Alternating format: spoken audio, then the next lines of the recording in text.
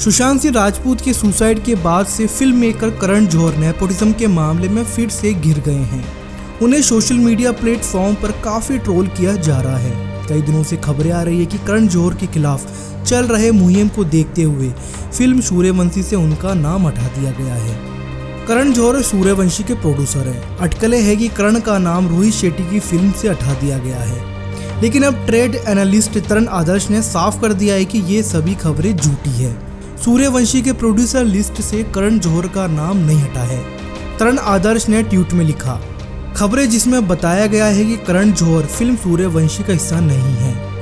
गलत है, ये खबरें सच नहीं है। इस मामले में रिलायंस एंटरटेनमेंट ने साफ़ कर दिया है।